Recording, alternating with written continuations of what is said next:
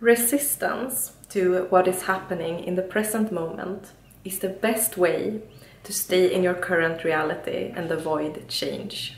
When things go our way, it really isn't that hard to feel like we are in the flow.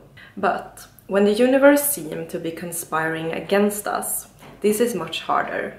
I'm going to share what happened to me recently that led me to adopt a new mindset and flow with life more easily. I was out shopping for groceries and I had taken my bike to the store. And it was this lovely weather that we have in Sweden from time to time, where the snow on the ground melts a bit, becoming this watery snow soup. When I returned to my bike after doing the grocery shopping, I put the bag in the basket. And when I do this, my bike is falling to the ground and all the groceries land in this snow water. This led me to say a bad word, which I won't be repeating here. But as I did, this caught the attention of a girl that was passing by, so she stops and asks me if I need help. And before she begins helping me with the groceries, she says, Oh, I hope you didn't buy anything fragile.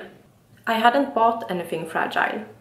So it dawned on me or actually, it dawned on me like half an hour later, once I was done pitying myself for this terrible event that had happened to me. The situation became like a wake-up call, because how bad was it really? I could still use every grocery. They had just gotten a little wet from the snow water soupy thing. And also I got help from this sweet girl.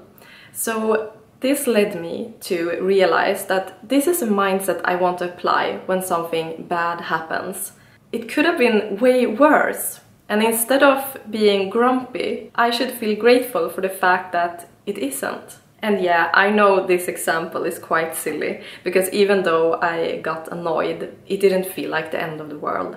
But you can still use this way of thinking when it comes to other situations that struck you as bad at first glance just to give you a perspective shift and hopefully also to raise your vibration. I also like to think of bad events as pattern interruptions, like something that needed to happen in order to create a perfect timing for something else, something magical that will happen pretty soon.